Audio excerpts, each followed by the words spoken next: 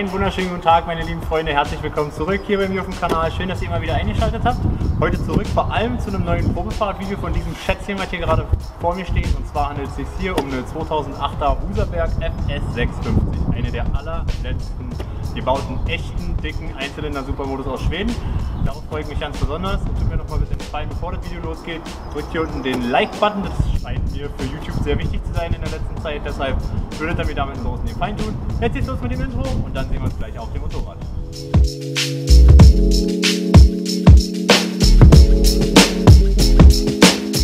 So, ein paar Worte noch vorab zu dem Motorrad und zwar, was ich gerade schon sagte, 2008er Huserberg FS 650. Dieses Motorrad ist komplett serienmäßig. Das heißt, all diese mega geilen, hochwertigen Hightech-Komponenten, die hier verbaut sind, hat Huserberg damals bei diesem Motorrad serienmäßig verbaut. Das ist so, glaube ich, fast bei keinem Hersteller, äh, sage ich jetzt mal, angeboten worden, wie jetzt in diesem Paket hier ist. KTM hatte da mal die äh, SMS und die SXS-Version von ihrer 560er. Das ist eine abgespeckte LC4 im Grunde genommen mit einem, mit einem Rennmotor. Ähm, aber so richtig, so wie diese hier, ist meiner Kenntnis nach fast nichts gebaut worden. Und das macht dieses Motorrad so sehr besonders und vor allem sind die einfach echt selten geworden.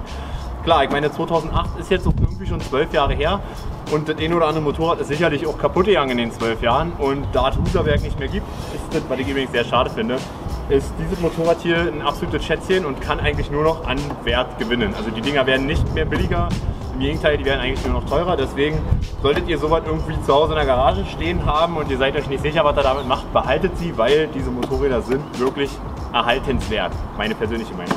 Äh, ja, eh jetzt aber dumm weiterquatsche, schnalle ich mir einen Helm auf. Ich nehme euch wieder mit mit der Helmkamera. Wir sehen uns also gleich auf dem Motorrad. Los geht's.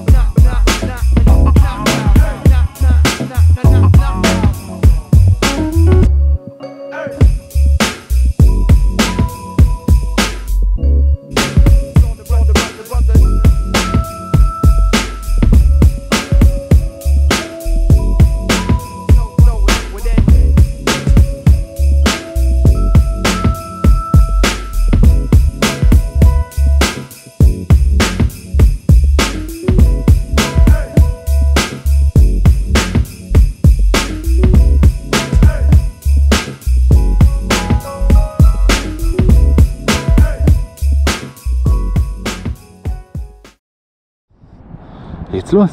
Ah, guck doch mal, wie schön sie ist. Ja, äh, das Einzige, was hier übrigens nicht serienmäßig ist, ist die Akrapovic Komplettanlage. Äh, aber ansonsten ist an dem Ding alles original. Ähm, Sebastian hat ein paar Sachen gemacht. Er hat äh, Samco Sportschläuche verbaut ohne Thermostat. Das heißt, die läuft nicht ganz so heiß, weil immer der große Kühlkreislauf läuft. Ähm, Basti hat ansonsten noch so ein paar Kleinigkeiten gemacht. Er hat hier diese wunderschönen äh, Gabelbrücken in so blau Metallic pulvern lassen. Da ist sehr, sehr hoher Metallic-Anteil drin. Ist wahrscheinlich meistens auf der Kamera nicht gut zu sehen, aber das ist so richtig schön glänzend metallisch. Äh, Schwinge ist schwarz gepulvert. Ähm, die Radnaben werden jetzt noch in dem Blau gepulvert. Also die äh, ist immer noch im Bau und wird auch immer noch ein bisschen hübscher gemacht. Aber so wie sie jetzt hier dasteht, wäre sie auch für mich die perfekte Huserberg. Was ich machen würde, früher oder später, wäre ich vielleicht noch zu gucken, ob ich hier ein paar andere Kühlerprotektoren finde in einer anderen Farbe. Ähm, ansonsten ist das Motorrad echt wunder, wunderschön, so wie sie da steht. Und damit fahren wir jetzt. Los jetzt!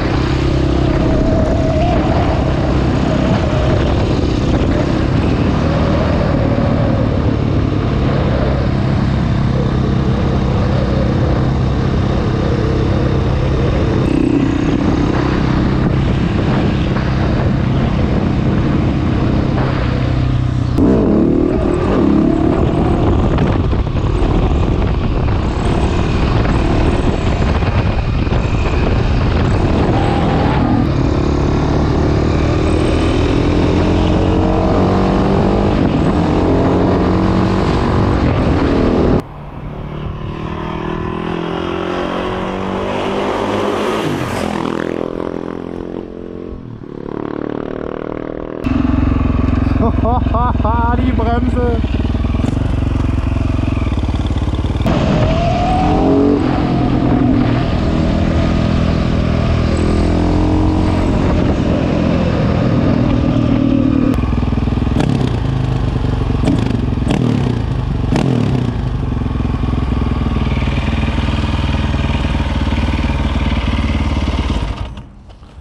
Alter Verwalter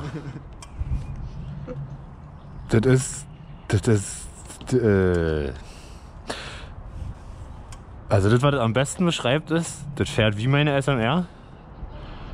Nur mit viel mehr Leistung. Ja. Das ist ein Rennmotorrad. Da ist ja also die Bremse, das Fahrwerk, die, das Ansprechverhalten im unteren Drehzahlbereich passiert hier gar nichts, weil, also nicht gar nichts, sondern im Vergleich zu dem, was denn ab der Mitte passiert, ist ja böse. Also weil da mit recht mit, du fährst halt los, so, tuckerst da so ein bisschen rum und dann hast du auf einmal irgendwie hier, ich das erste Mal gehabt, da bin ich hier im dritten, da war ich gar nicht schnell, irgendwie die erste, wo ich das zweite Mal langgefahren bin, tü, tü, tü, tucker da so rum, dritten auf, jetzt sofort aufs Hinterrad, Alter, irgendwie im mittleren Drehzahlbereich. Wahnsinn! Krass. Also ich wusste ja, dass die krass sind, aber das ist echt derbe. Also wirklich derbe. Das ist äh, nochmal, ich meine ja, ich, das ist jetzt natürlich das ist auch schwer zu erklären, ey. Das ist wirklich dadurch, dass man ja so in etwa eine Vorstellung hat. Ich meine, ich bin ja nun schon ein paar Einzylinder Supermodus gefahren, ja. Aber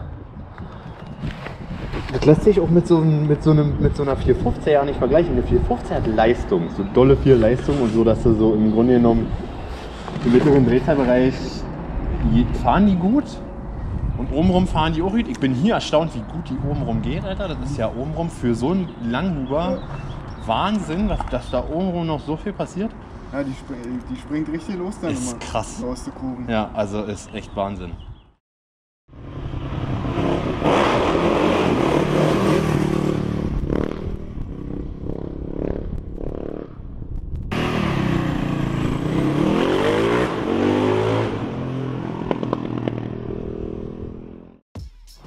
So, da sind wir also zurück mit der Huserberg FS 650 und ich habe gerade zu Basti schon gesagt, das Motorrad hat, also mir fällt im Grunde genommen nicht ein einziges schlechtes Wort zu dem Motorrad ein, außer die ist nicht besonders bequem. Wenn ich erklären müsste, wie dieses Motorrad fährt, dann würde ich sagen, die fährt wie meine SMR, nur mit deutlich mehr Power. Also mit so richtig, also der, der Punch, gerade so das Drehmoment in der Mitte, ist bei dem Motorrad wirklich unbeschreiblich. Mehr als ich jemals erfahren habe. Und selbst die 690 SMC, die ja wirklich hart feier die ein übelst geiles Motorrad ist und eine sehr, sehr coole Supermoto, selbst die hat nicht so einen perversen Punch aus der Mitte raus wie dieses Motorrad. Also das ist wirklich, wirklich heftig. Und das allerkrasseste, wie ich finde, ist ja äh, im, jetzt im Speziellen im Vergleich zur 690 SMCR, die ja aufgrund des langen Hubs oben total an Drehmoment verliert. Wenn man sich die Leistungskurve von der SMCR anguckt, dann sieht man, dass die oben total abflacht und man das Gefühl hat, dass sie eher ab 8000 Umdrehungen eher langsamer als schneller wird, weil einfach so der Schub nicht mehr da ist. Und das ist hier ganz anders. Die dreht bis sonst wohin. Ich habe mir ja nicht getraut, die auszudrehen, weil da oben, also ganz oben rum, geht das wirklich megamäßig ab. Das ist echt heftig. Ähm, und da, also ich finde ja keine anderen Worte dafür, außer das ist echt, echt krass. Und ein Motorrad, was für die Straße zugelassen ist und eigentlich aber fährt wie eine Rennsupermoto, glaube ich, gibt es nicht nochmal. Also außer das hier.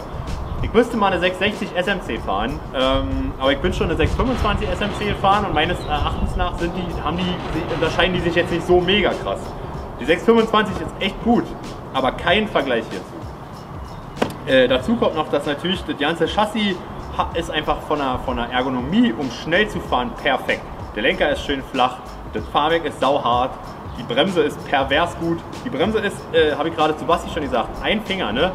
Du ziehst sie, dann kommt der Druckpunkt und das Motorrad bremst, aber nicht wie jedes andere Wettbewerbsmotorrad, was ich bisher bin, sondern es verzögert echt stark, bevor sie anfängt, das, Hinter, äh, das, Hinterrad zu heben. Also das heißt, um mit dem Motorrad ein Stoppie zu machen, muss man wirklich mächtig in die Eisen gehen, weil einfach der lange Radstand und das harte Fahrwerk dafür sorgen, dass das Motorrad megamäßig abbremsen kann. Also die Verzögerung von dem Motorrad mit dem harten Fahrwerk im Vergleich beispielsweise zu meiner 300er, die ja doch noch mal ein ganzes Stück leichter ist als die hier, ist viel, viel besser. Einfach weil das Fahrwerk sauhart ist und weil dadurch natürlich die Bremsperformance im, in dem Moment, wo man das erste Mal an der Bremse zieht, viel, viel besser ist, als das beispielsweise mit dem weichen Enduro-Fahrwerk überhaupt möglich wäre.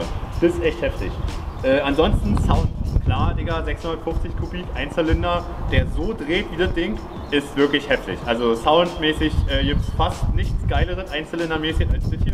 Ähm, ja, also wenn ihr von mir eine Empfehlung hören wollt, ich würde sagen, wenn du sowas im Internet siehst und das bezahlen kannst, kauf es, weil das ist wahnsinnig geil. War alles, oder? Bremse, Power, Ja, ist halt ein Rennmotorrad. Das ist ein Rennmotorrad, Mann. Scheiße.